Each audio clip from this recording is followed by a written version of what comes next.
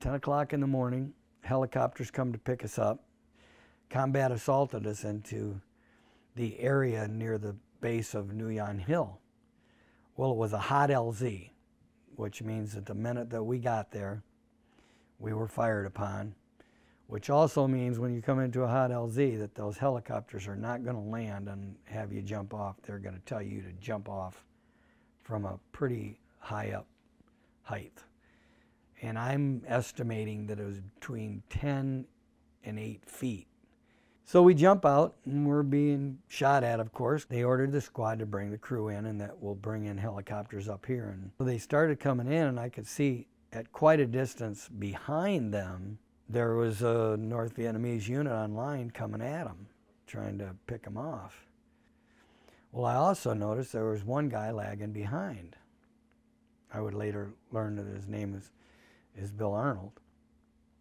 And he's lagging behind and he's actually even using his M16 for a crutch.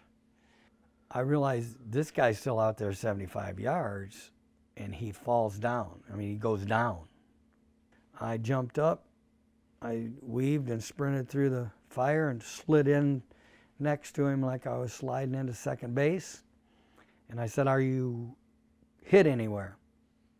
No, he said, I'm not hit anywhere. He said, but I hurt my knee jumping on a helicopter. We've been out there most of the afternoon in that heat and that, and my, my knee is just swollen and I can't hardly even walk on it. And I said, well, you hang on to your M16 because you're going up on my shoulders.